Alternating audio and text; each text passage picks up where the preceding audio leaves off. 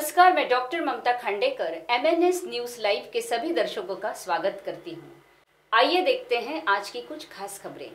बेंगलुरु में गिरी इमारत, एक की मौत, कई घायल। कर्नाटक की राजधानी बेंगलुरु के त्यागराज नगर इलाके में एक निर्माणाधीन इमारत गिर गई। हादसे में एक शख्स की मौत हो गई, जबकि कुछ लोग मलबे की चपेट में आकर घायल हो गए हैं।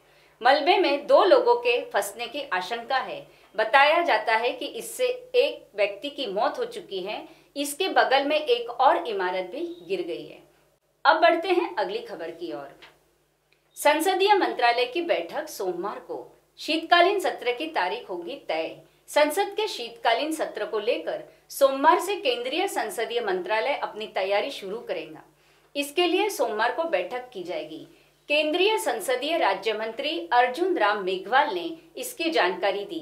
यह सत्र विधानसभा चुनाव के बीच शुरू होगा। और जब कल बैठक होगी तो जो हमारा शीतकालीन सत्र है, उसकी तारीखें तय होगी।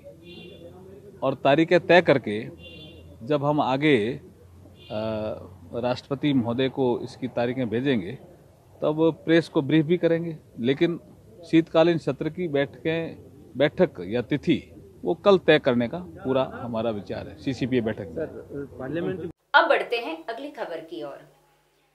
काशी में बनेंगे राम मंदिर निर्माण की रणनीति। भागवत और मोदी शहर में रहेंगे मौजूद। संघ प्रमुख मोहन भागवत छह दिवसीय प्रवास कर वाराणसी पहुँचे। इससे पहले फरवरी महीने में वह शीतकालीन प्रवास कर चुके हैं। चुनाव से पहले भागवत का वाराणसी में प्रवास निश्चित तौर पर राम मंदिर निर्माण को लेकर एक बड़ी रणनीति के रूप में देखा जा रहा है। एमएनएस न्यूज़ लाइव की खबर देखने के लिए आज ही प्ले स्टोर से एमएनएस हिंदी ऐप डाउनलोड करें और हमारे चैनल को सब्सक्राइब करें। नमस्कार।